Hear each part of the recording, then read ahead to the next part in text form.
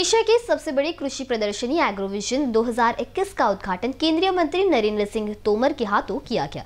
प्रदर्शनी रेशीमबाग मैदान में शुरू हो गई है। केंद्रीय सड़क, राजमार्ग और परिवहन मंत्री नितिन गडकरी एग्रोविजन प्रदर्शनी के प्रवर्तक, कर्नाटक के मंत्री अश्वत्थ नारायण महापौर दयाशंकर तिवारी, सांसद विकास महात्मी, सांसद कृपाल तुमाने, विधायक चंद्रशेखर बावनकुळे, विधायक कृष्णा खोपड़े, विधायक विकास कुम्हारी, पूर्व मंत्री अनिल बोंडे, पूर्व आमदार पाशा पटेल, डॉक्टर पातुरकर, सचिव संजय अग्रवाल, अरुण नारायण, प्रदर्शनी के सचिव रवि बोटकर, डॉक्टर माई संचालक रमेश मानकर आदि उपस्थित थे। कार्यक्रम में उपस्थित गणमान्य व्यक्तियों के हाथों एक ज्ञापन भी प्रकाशित किया गया।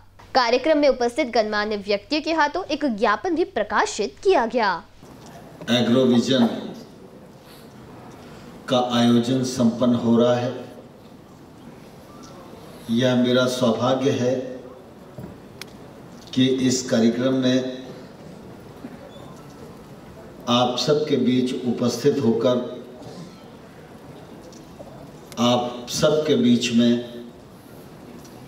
आप सभी का भारत सरकार की ओर से स्वागत और अभिनंदन करते हुए मुझे प्रसन्नता महसूस हो रही है। ये जो नॉलेज है, ये ज्ञान है, इसको हासिल करिए, उसका प्रयोग करिए। और समृद्ध, संपन्न किसान के रूप में आप आगे जाइए। उसके लिए बहुत बहुत शुभकामनाएँ और शुभेच्छाएँ। धन्यवाद, नमस्कार।